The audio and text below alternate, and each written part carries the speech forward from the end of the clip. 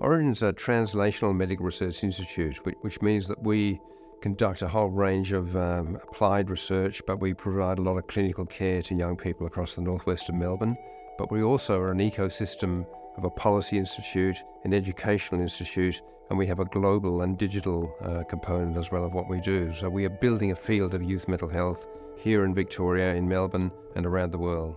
We're facing a youth mental health crisis. There's been a 50% jump over the last 15 years in the level of mental ill health in young people from 26% back in 2007 to 39% in 2024.